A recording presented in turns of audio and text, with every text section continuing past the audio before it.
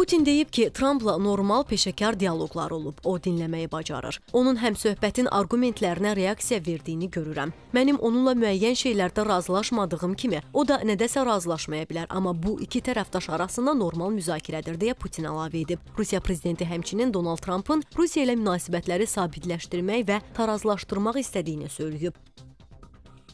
Amerika isə Ukraynadakı duruma görə Rusiyaya qarşı yeni qadağalar qəbul edəcək. Bunu Amerikanın Ukrayna üzrə xüsusi nümayəndəsi Kurt Volker bəyan edib. O qeyd edib ki, Amerika Rusiyaya qarşı qadağa məsələsində Avropalı tərəfdaşları ilə sıx fəaliyyət göstərir. Volker qadağaların effektivliyinə inandığını və Rusiyada bunun sübutlarını gördüyünü bildirib.